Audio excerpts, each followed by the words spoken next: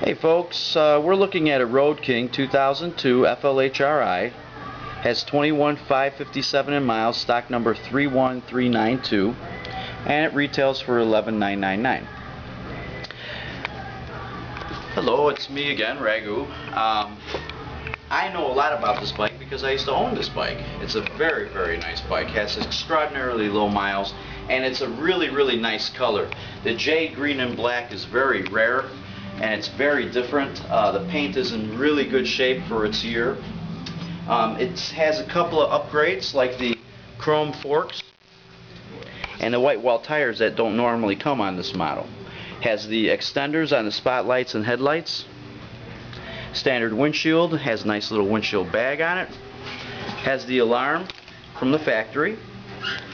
But the nicest thing about the bike is it's a 1450 with a 5-speed trans, has a high-performance air cleaner, um, fuel injected again, has the race tuner, has the low, uh, low restriction exhaust on it, also has the uh, different floorboards to give it a little pizzazz. The bike is a standard. The bike is a standard, has the fiberglass bags that open up. Here's the race tuner, which is a $400 option. On the hard bags, they lock. Uh, it has the Bassani True Dual exhaust, which is a nice thing, very expensive exhaust, and a removable or detachable backrest so that you can keep it looking sporty when your sweetheart isn't on the back. We work our way around, we look at the seat, is in great shape. Again, paint is in great shape. Sports a 5 gallon fuel tank for those nice long rides. The Road King has the touring suspension and frame, rides very nice on the road.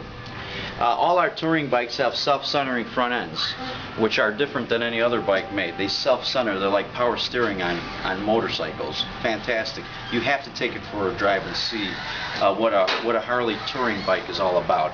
Um, dual disc brakes on this bike. Stop you on a dime.